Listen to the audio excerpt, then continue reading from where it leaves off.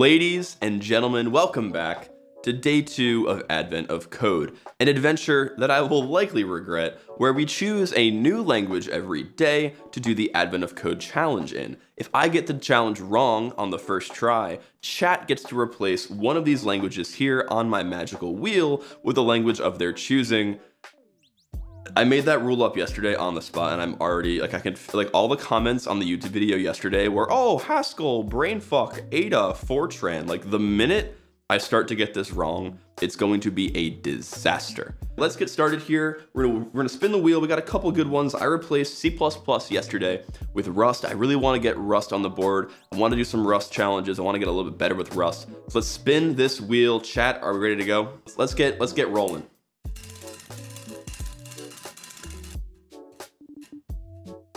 Oh no, oh no.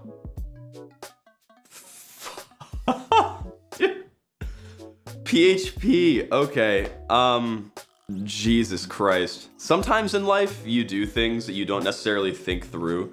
And like, I kind of put PHP on here as a meme to myself, but I kind of forgot about it. So, Advent of Code, day two in PHP. This was such a mistake.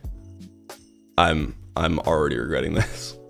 So the issue is I need to actually like install PHP, I think. Okay, so I have Nginx. So we just need to do Nginx PHP. Dude, if this is more than like a one-liner, I'm gonna cry. Or Docker image, yeah, I might just do that. Beautiful. All right, cool. So in theory now, if we go here, to, so if I do like echo AO, are we good? Perfect. Okay, we're winning. We're cooking with oil. Let's go ahead and read the challenge now. So if you're not familiar with Advent of Code, every day we have a challenge where we have to help the elves through some kind of predicament in their, you know, attempt to fix some kind of problem. So the issue is that there's no snow. We are trying to figure out how to help the elves make snow. We do that by collecting stars and doing challenges. So day two, Cube Conundrum. So yesterday they put us into a trebuchet and they launched us into the sky. So here we are, you're launched high into the atmosphere. The apex of your trajectory just barely reaches the surface of a large island floating in the sky. Oh, that's interesting. You gently land on a fluffy pile of leaves. It's quite cold, but you don't see much snow, unfortunate. An elf runs over to greet you. Hey elf, what's going on? The elf explains you've arrived at Snow Island and apologizes for the lack of snow. He'll be happy to explain the situation, but it's a bit of a walk, so you have some time. As you walk, the elf shows you a small bag and some cubes which are either red, green, or blue. Each time you play the game, he will hide a secret number of cubes of each color in the bag. Okay, so we said red, green, blue, cubes, he puts in the bag, great. And your goal is to figure out information about the number of cubes. To get information, once a bag has been loaded with cubes, the elf will reach into a bag, grab a handful of random cubes, show them to you, and put them back in the bag. He'll do this a few times per game. You play several games and record the information from each game, your puzzle input. So each game is listed with its ID number, game one, for example, like the 11 in game 11. Okay, so we have to figure out how to parse this string in PHP, followed by a semicolon separated list of subsets of cubes that were revealed from the bag, like three red, five green, four blue. Okay, so three red, four, four red. Okay, this is one game and these are the random showings that we have. The elf would first like to know which games would have been possible if the bag had only contained 11 or 12 red cubes, 13 green cubes, and 14 blue cubes. In the example above, games 1 and 2 would have been possible, or 1, 2, and 5 would have been possible if the bag had been loaded with that configuration. Okay, this is literally just a, a, game in uh, string parsing. So, determine which games would have been possible if the bag had been loaded with only 12 red cubes, 13 green cubes, and 14 blue cubes. What is the sum of the IDs of those games. Okay, so effectively the solution here is going to be read for every line, parse the string into parts. So we have the split off the colon space part that gets us the game section and the data section. And within that, split off of the semicolon space. And we could do this in regex. God damn it. This is, okay, so this isn't even a PHP challenge. This is a regex challenge. Oh, dear God. Okay, so let's go to RegExr real quick. If you haven't used RegExr before, huge tool, really powerful in making regexes. This was not a good idea. All right. I really, really, really, really, really, really, really, really don't want to do regex. We can do file equals day2.txt. We'll do this. Um, we'll get our puzzle. Actually, we're going to start with this one, right? Um, so someone would have been eight for this. Okay, uh, let's do this. We'll do day two, and we'll go over here to our AOC day two, and we'll vim um, day2.txt, This will be our, our sample input, right? So let's make sure that our PHP still runs. Okay, so we have a 500 internal error. Wonderful. It's file get contents underscore. I see. File get contents, not file read contents. Have this, no more 500 error. Perfect. Um, so this is not file, this is file data. Uh, we could do echo. Perfect. Okay, lines equals explode file data on new line. So to iterate over an array in PHP, it's for each line as the reference to lines. And we'll do, instead of echo file data, we'll do echo line. Perfect. Oh, string separator and then the string. That's that's pretty bad. Um, beautiful. Okay, so we have that split and now we're splitting the, so now let's do echo line and then echo new line. Has to be BR, you're right, because we're using it's rendering as HTML. Cool. All right, there we go. Class in chat. So we're now we're opening the file. Let's go. Also, I gotta chill because my, my, son's room, who's a baby, by the way, uh, is like right upstairs. So if I'm too loud, that poor kid will wake up at seven in the morning on a Saturday. So only four months we start learning, learning Rust. His first language will be HTML. Okay, we'll get him. We'll get him a little little HTML for babies. So we have this line, right?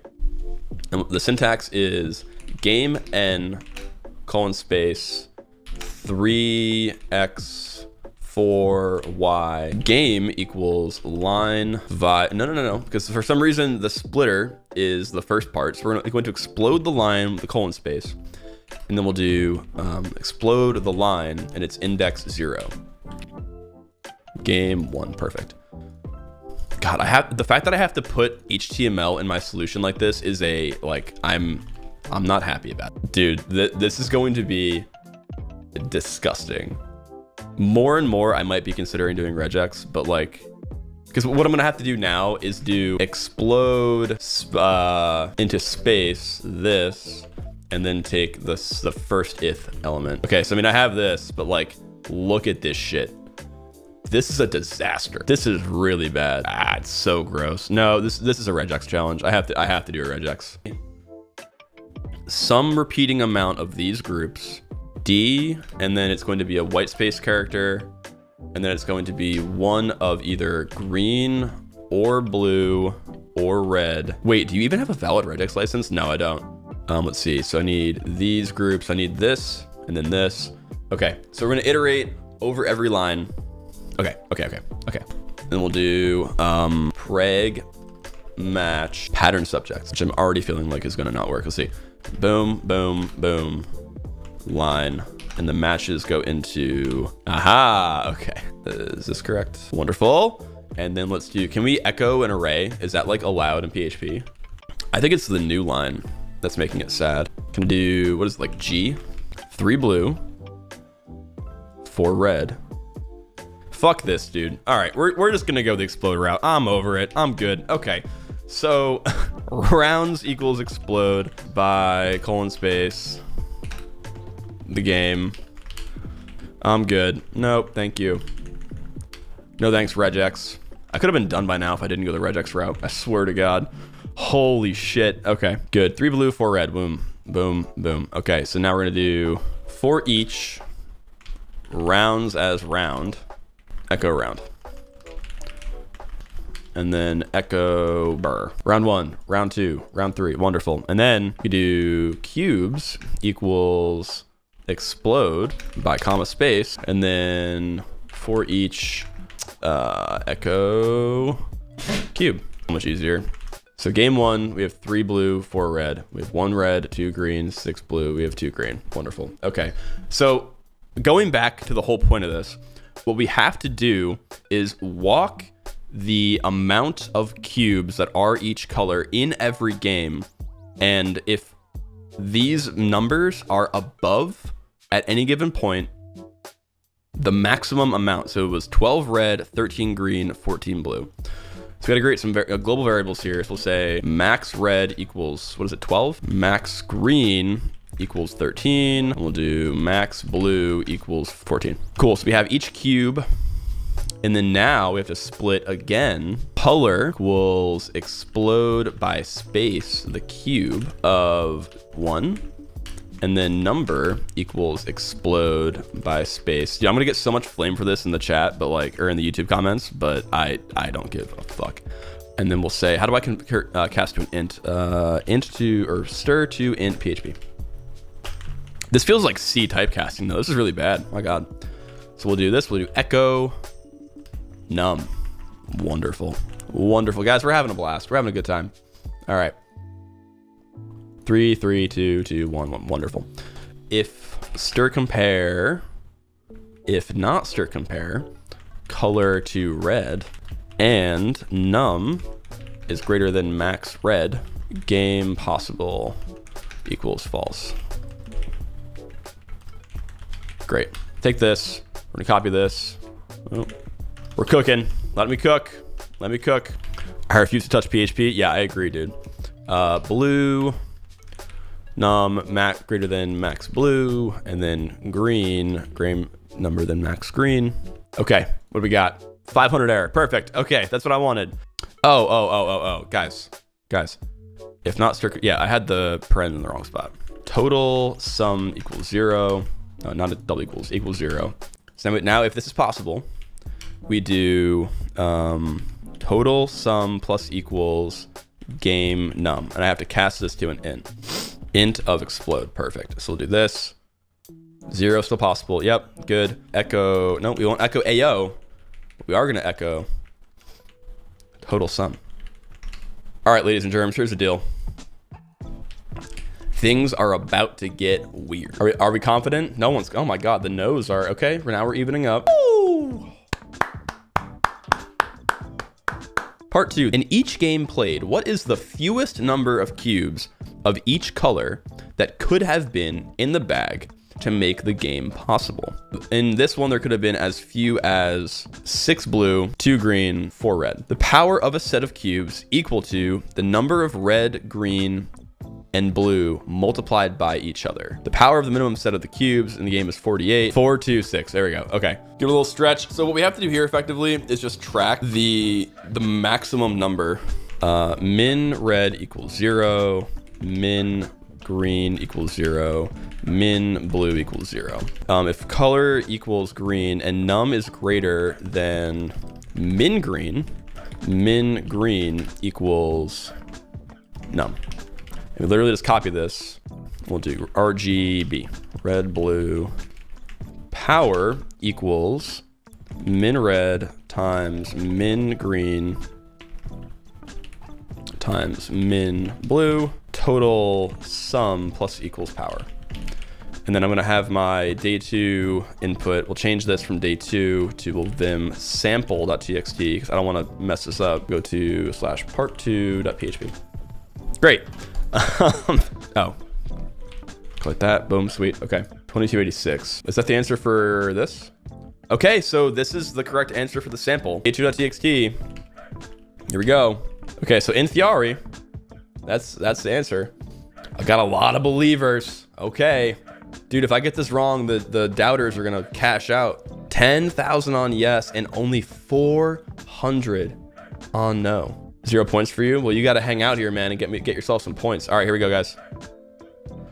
Whoa! Let's go. Let's go. We won this day, first try. Normally, I would replace the wheel myself, but stand by real quick. I'm going to choose, but chat will have the opportunity to, to suggest answers. Uh, I'm going to erase PHP because I refuse to ever do that again. That was horrible. Um, let's see. Elixir, Elixir, Mojo, OCaml, Ladies and germs, we are adding Elixir to the wheel as an input from chat. If you suggest Haskell or Brainfuck, I will I will just ban you. Advent of code, day two in the books. A little bit of PHP.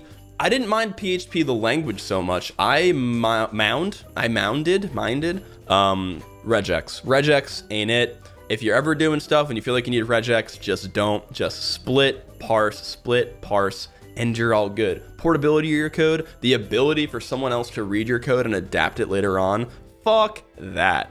All you need to do is explode your strings and go on from there. So if you enjoyed this video, hang out with me tomorrow on day three, and we'll see you in the next one. Take care.